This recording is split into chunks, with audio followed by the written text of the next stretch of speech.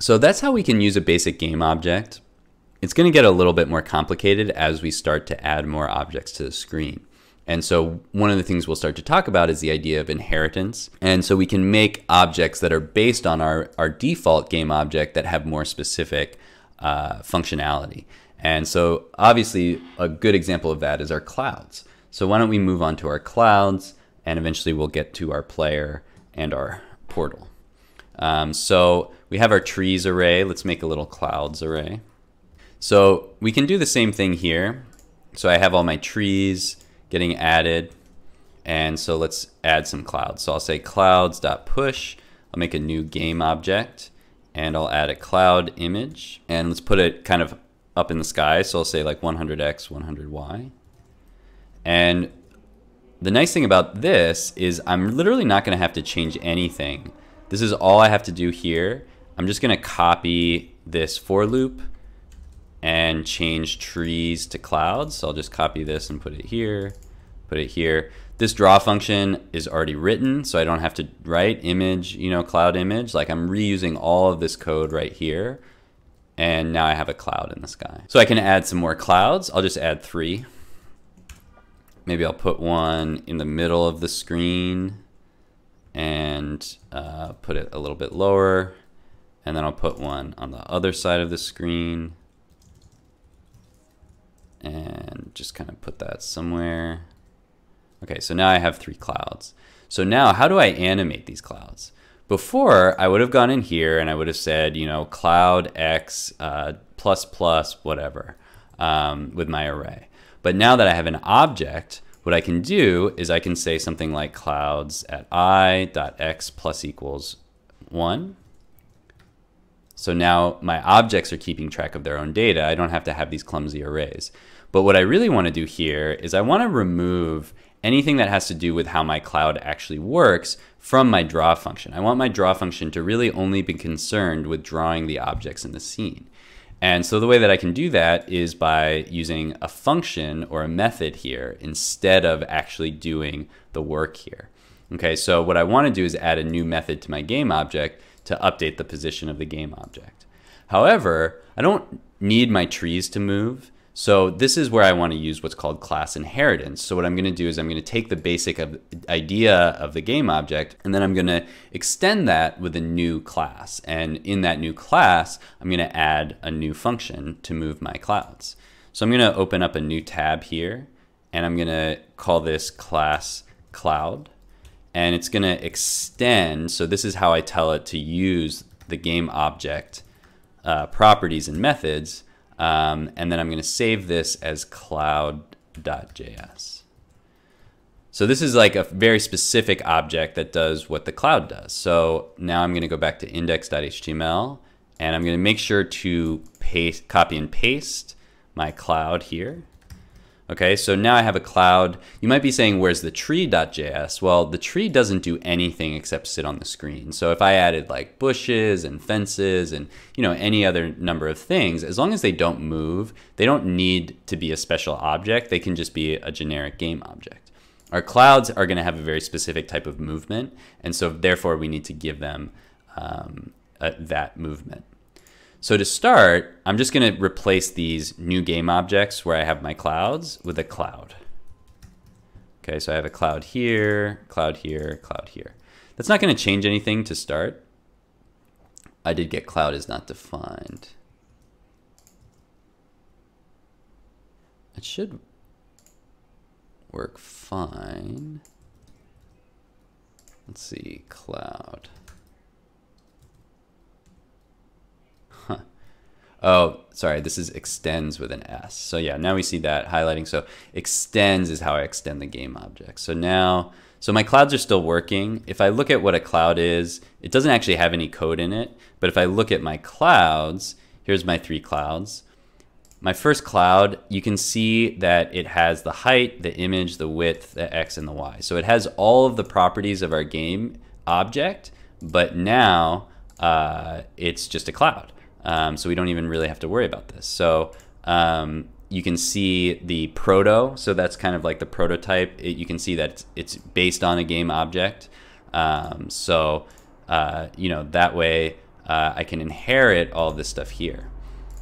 Um, so that's basically how inheritance works. And so now I can add a method here. I can say update. And so in the update, I'll do what I'm doing here, except I'm going to do it this dot x plus equals 1. So let's remove this and just say update. So now it's calling the draw function from over here and the update function from over here. So that's the nice thing about extends is we get everything from our original game object plus we get this update function. And so the animation for our clouds is actually a little bit more complicated than that. So let's steal that from our clouds function. Excuse me. Um, so here it is. I'm just going to copy this. And look how much more complicated this code is. So we had cloud positions at i at 0 plus equals 2.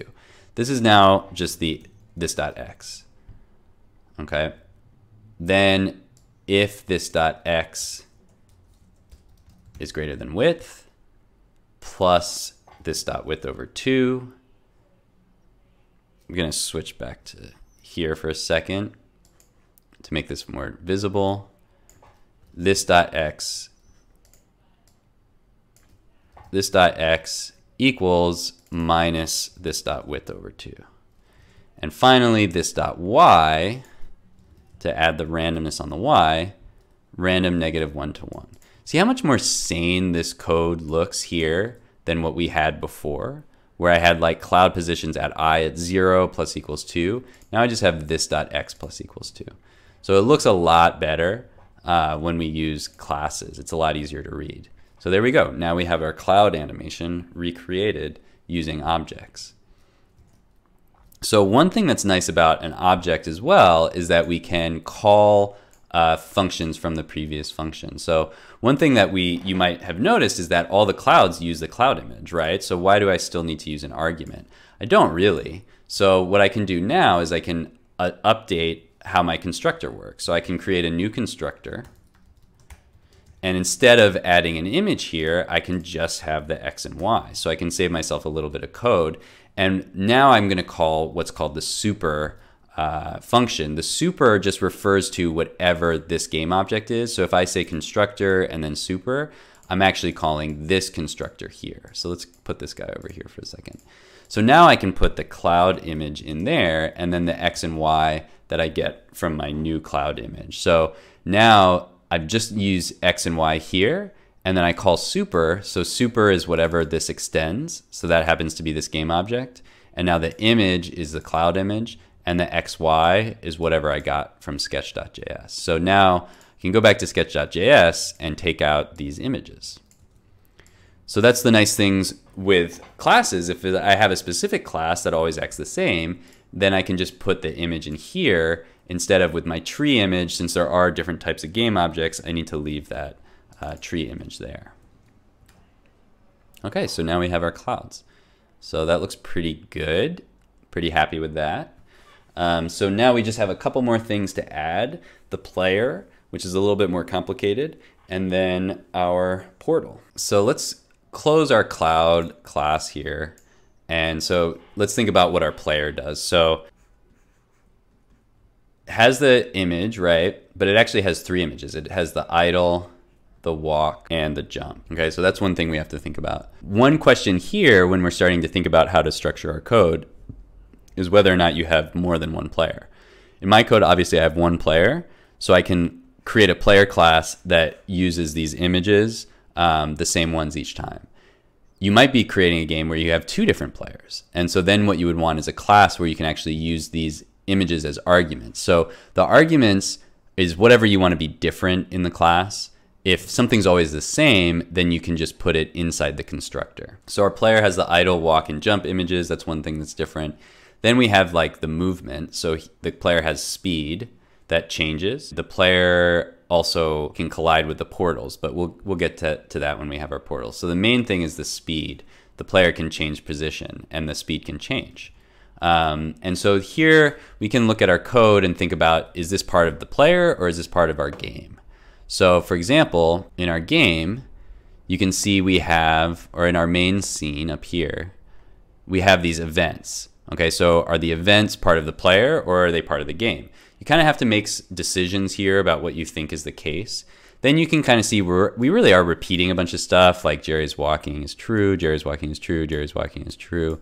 So is walking, is that part of the player? Is that part of the game? So we can start to think about how to, how to change the player.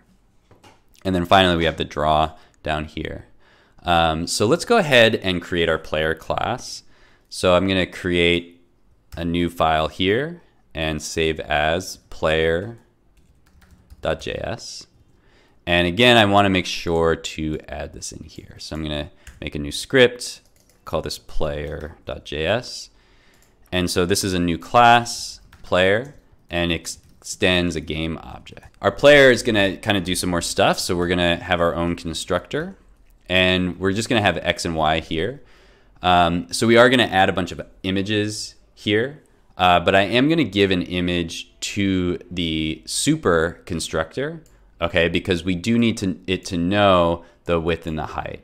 Um, so what I'm going to do here is I'm going to say super, and I'm going to use Jerry idle as kind of our default image. And then I'm going to use X and Y, whatever we instantiate from the program.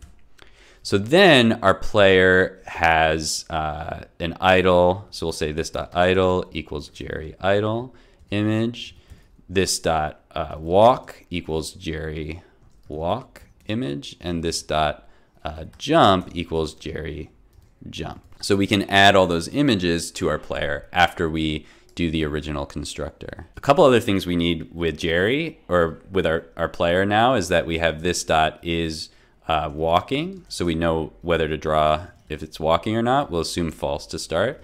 And this dot is jumping and so we'll assume that's false as well. So those are a couple of variables that we ended up having in our in kind of like our global scope. Uh, the Jerry is jumping, then we had the Jerry is walking in our uh, logic, but now we can just put those inside the player. So we're also going to rewrite the draw function. So another nice thing about a class is that if I make a new function that has the same name as this function, it's just going to overwrite it. Um, so I don't have to worry about like it calling two functions. Uh, I know that this draw is going to overwrite this draw. And the reason that we do that is because we have three different potential images. So we have, you know, if uh, this dot is walking, we're going to draw this dot walk.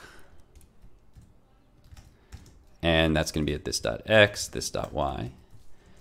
Else, if this dot is jumping, and we'll be adding these later. That we have the image, this dot jump, this dot x, this dot y. And then finally our default, you know, uh, image is this dot idle, uh, this dot x, this dot y. Um, so that'll draw our player. Uh, so let's put our player over here and let's actually create that. So we're going to need a, a, global variable for our player. Um, and I'm just going to create it in the global scope, and then I'll set it up in setup.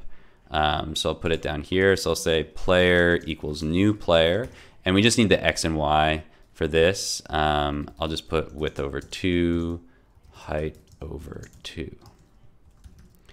And then we can't forget to draw the player. So he's not part of any of our other uh, arrays. So let's just put, actually I'll put the player behind the graphics because it's kind of looks kind of cool that way. So I'll say player.draw.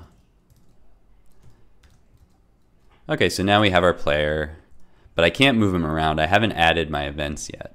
Um, so we're gonna change the way that we do the events for the player a little bit. Um, so let's go over that now. So we're gonna set up our logic as part of our draw function. Obviously we'll be splitting this out to something else later, but for now we'll just put it in the draw function. So I'm just gonna say uh, player uh, keyboard events.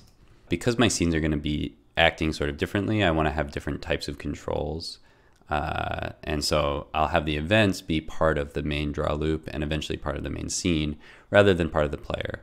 However, if the player was always going to move in the exact same way, I might make the controls part of the player object. Uh, there's a lot of different ways to approach this, um, and so it sort of depends on the situation. Um, so I'm going to go look at how I did this previously and borrow some of that code. Um, so for my player events, Uh, the Jerry is walking. I don't have to worry about that. Um, that's part of the object. So I'll just grab those events and put them in here. So now, you know, I don't have uh, Jerry X. I just have player dot X. And I don't have a Jerry speed variable here. Um, this is something that I might want to change depending on the scene or depending on the map or something like that. Um, so it might not be specific to the player.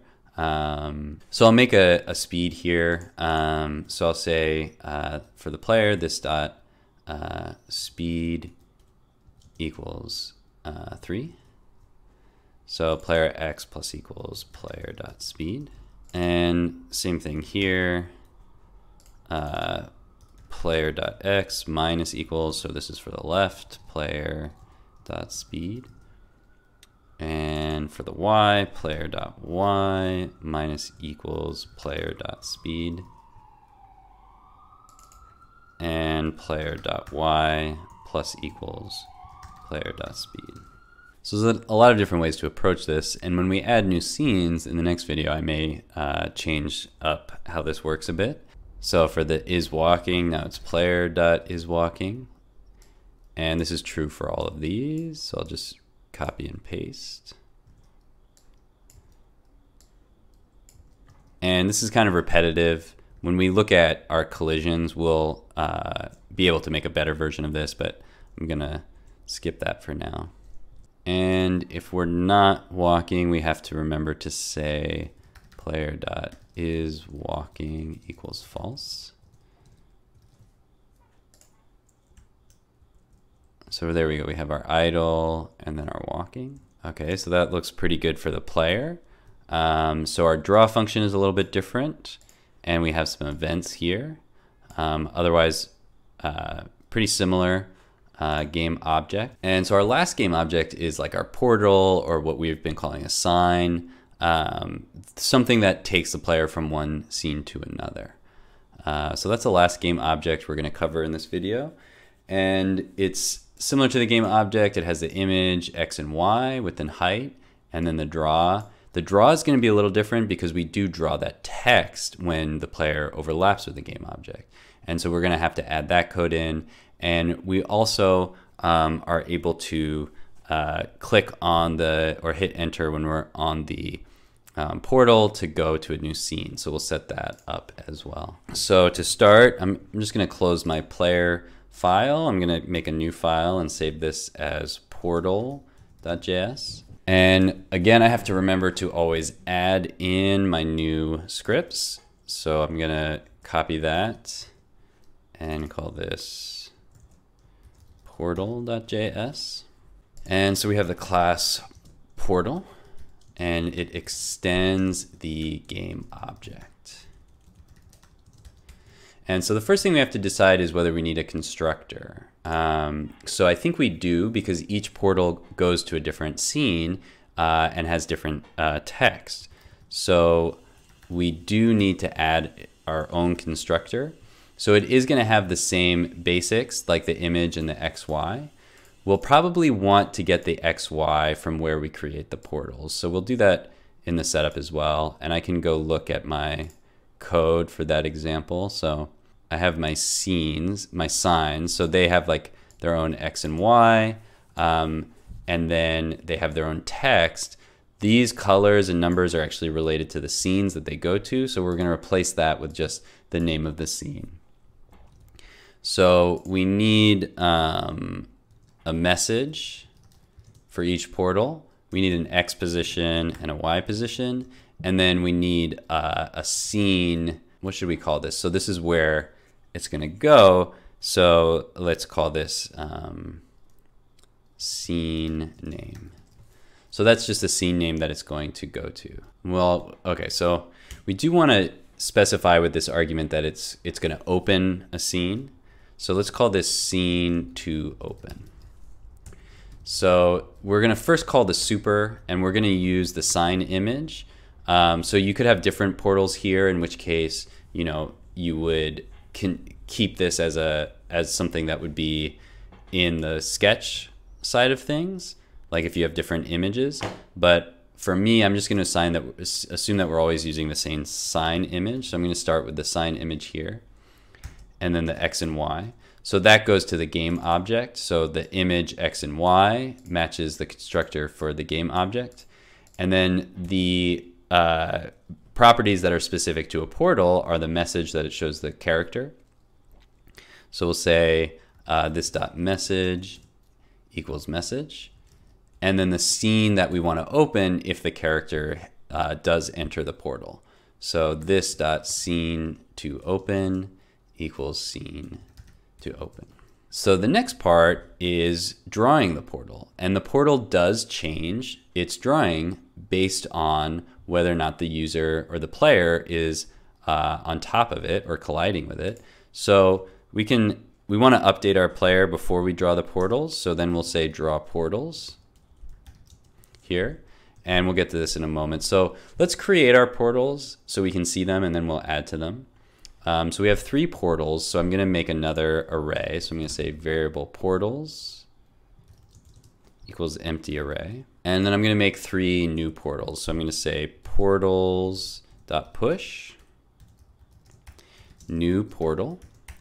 And so I need a message, an XY position, and the scene that we want to open. Um, so for the message for my first portal, it was like easy snake world. I can actually just copy these values directly in there. So easy snake world is our message. 500 is our X position. Height over two is our Y position.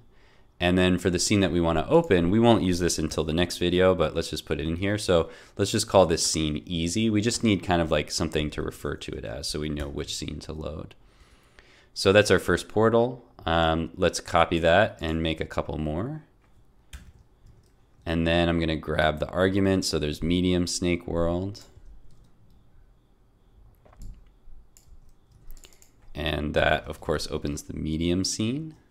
Let's put this like this so we can see it easier for a moment. And then hard snake world. And that's going to open up the hard scene. So these easy, medium, and hard are basically just like labels that we're going to use so we know where these portals go later. Um, so that's a little bit different than how we did it with our functions because we didn't have these objects that we could keep track of. Um, and so then we can draw our portals. So we'll use another for loop, uh, but instead of trees, this is going to be portals.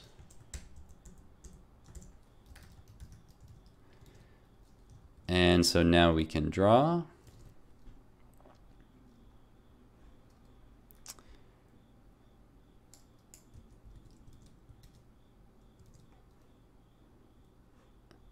Oh, and I forgot to add an extra parentheses at the end here. Our code is getting to be a little more complicated looking.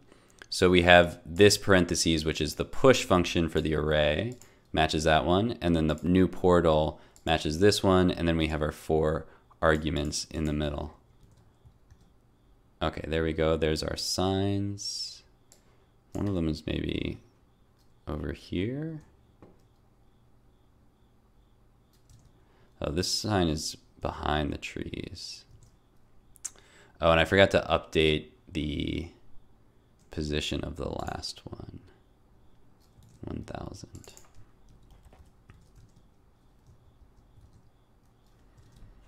Okay. Um, so let's actually move our trees behind this stuff. And I'll move the portal down just a bit on the Y so it's not covering up all the trees. It's the wrong one. Okay, so now we have our three portals. Um, these signs are kind of big, but you know, you can use whatever graphics you want to here. So now we're drawing the portals. So now we have to actually detect the player collisions with the portals. And this is probably the most complicated part of this video. So um, basically we have two game objects, right? So we have our sign, we have another sign down here and a third one over there. And then we have our player. So our player is a player object and our portals are portal objects. and they we need to know if they collide, right? And we're going to have to know if they collide with other objects as we build out the game as well, like our obstacles, our snakes. And we have our collision code down here between a portal and our Jerry or our player. But we know that we're going to also have collisions with our snakes. So what we can do is say both of these things inherit from a game object, right? The portal comes from a game object, the player comes from a game object. The game object has XY, it has the image, it has draw, but it doesn't have the collide. If we give the game object a collide function, then all of a sudden both the player and the portal will get those collide functions. And eventually when we make some snakes or other obstacles, they'll also have the collide function. So if we want a function or a method to apply to all of the children of one class, then we want to add it to the main class that they all extend. Um, so rather than going to portal and adding a, a collide function here, I'm just going to add it to the main game object. So let's bring the game object over here. And so other than draw, we can collide. And so this is a little bit complicated because basically we'll be able to detect a collision between any game object and any other game object. Some of our game objects, you know, they don't need to do this, like our trees and our clouds, but because a lot of our game objects will need to do this, it's nice to have it as a basic functionality. One thing that we don't know when it comes to our objects is which one is which, right? If we have a sign and a player, they're both game objects, okay? So which one is colliding with which. Well, the way our collision code, it doesn't really matter. It could be this one, it could be this one. All we have to do is put one of them into the argument for the collide code and then detect the collision. Because they're both rectangles, it will be the same uh, code. So we need, if we want to detect an argument, or if we want to detect a collision between a portal and our character, we just need to put the player inside of this collide code. So we're going to be detecting this with all of our portals. So we're going to say portals at i dot collide. And then we'll put the player inside that argument so we can detect if that portal collides with that player. Because it's in this for loop, it'll go through each one of our portals. So for that argument, I'm not going to call it player because we might want to detect collisions between other parts of our scene in the future. Like if you had a scene with like boulders bouncing around, they would have to collide with each other as well as the player. So for the collision, I have the game object, which is this, and then I'm going to have other as the other game object. So I'm just going to use other as the argument. Then I'll do my collision detection. So I'm going to say if, and I could copy this code, but it's actually you know using all these other variables that we don't want to use. So we can just work it out again. So so I'm just going to bring up a, a blank screen so I have a little more space to draw. So we have our sign, which is this. And then we have our player, which is other. And we want to detect the collision. So the center of our sign is XY. And then it's got the width and the height. The center of our player is XY. And it's got its width and its height. So the first thing that we want to detect is um, the x position uh, of the the sign. Okay, so we start with x, right? This dot x, and then we got to get this line over here. So that's minus this dot width. I'm just going to do w over 2. So this line, this one has to be um, less than the others right line, okay? Because if this left line is over here, then we know that this box is over here somewhere, and so they're not colliding. Okay, so this one has to be less than, and then we just do other dot x plus other dot width over 2. And then we just keep going from there like we did in the other video. So then we say this right line right, has to be greater than this left line because what we see right now is if this right line is less than this one, then the boxes aren't going to overlap, right? We know this entire box is to the left of this box. So this dot x plus this dot width over 2 is greater than other dot x plus other dot width over 2. And the rest of it is basically, you know, the same as what we saw in our um, other video. So I won't go through all the y's because it's just the same thing. So we have this dot x minus this dot width over 2 has to be less than, and this is going to get kind of long, so let's go to this view. That has to be less than other dot x plus other dot width over 2. Then we do the double ampersand, we go to the next one, and you know, we're basically just reversing this pattern. So we're saying this dot x plus this dot width over 2 is greater than other dot x minus other dot width over 2. Okay, so notice the symmetry there. We have the two boxes, they both have an x and y, they both have a width and height. So this dot x minus width over 2 less than other dot x plus, and then we basically have the exact opposite as our second parameter. Then we do the same thing on y. This dot y minus this dot height over 2 is less than other dot y plus other dot height over 2. And last one, this dot y plus this dot height over 2 is greater than other dot y minus other dot height over 2. Okay, so it's still kind of tedious, but it's basically the same code. So one trick with object-oriented programming is that once we're in this game object, we don't really want to do any code here because this object is really only supposed to kind of deal with its own business.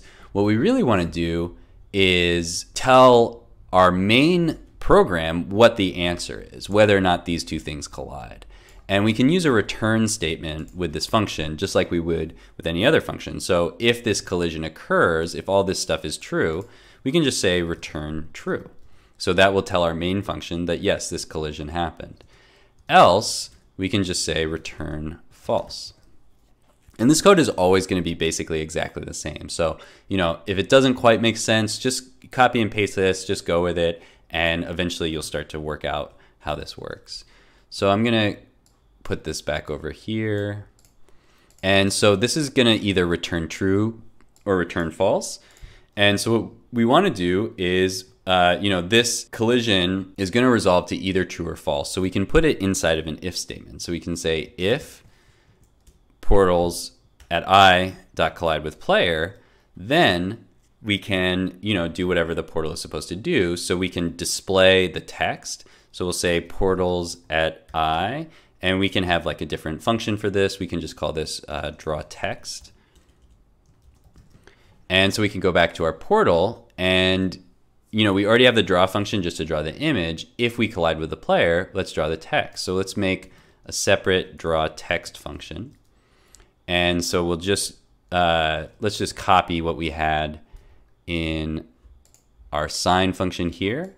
So we have all this stuff here. I'm just gonna copy this and paste it. So we have fill is 255, text font is Comic Sans. Um, this is actually always the same. So instead of having this happen all the time, I'm just gonna put this in my setup function. Otherwise, I'm just repeating this over and over again. It's not really very useful. Same thing with the text align. I don't need to repeat that in my object. That would be, you know, I would need to do that if I was changing fonts and stuff like that throughout my scene, but I'm not doing that. Um, so I'm not, so I'm gonna take that out and put it in setup so it just happens once. But if you are using multiple fonts or changing the alignment, then you should leave that in there. So then we have our text. So we have our message. So I'm going to change that to this dot message. And then, oh wow, there's a lot of, let's go here.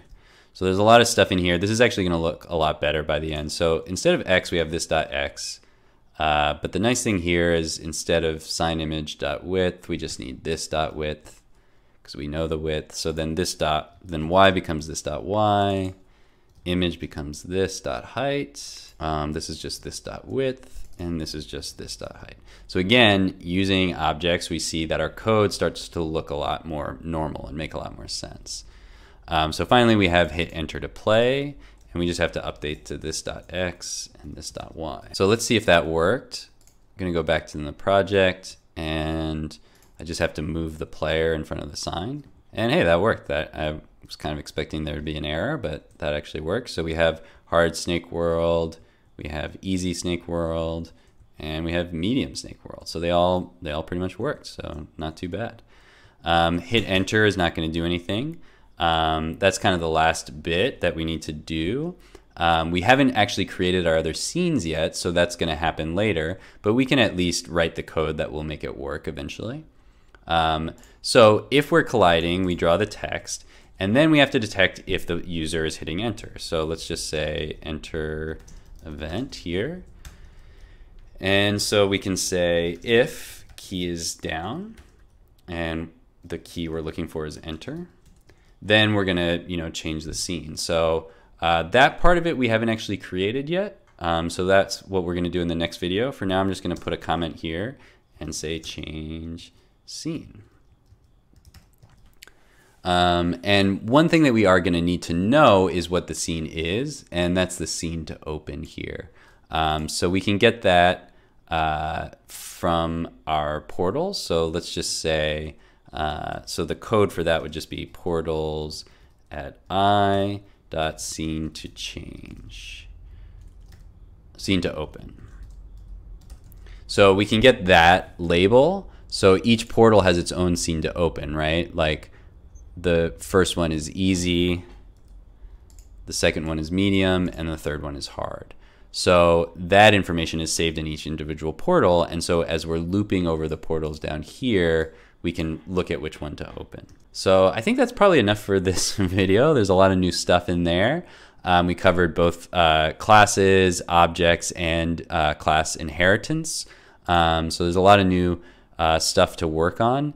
In the next video, we'll be um, adding a new type of class, which is the scenes. We'll make a class from our scenes, and eventually that'll be make it easier to switch between uh, different scenes in our game as well. Um, so now that I'm at kind of a stopping point, I'm just going to go over here and just say adds um, classes and uh, commit to master.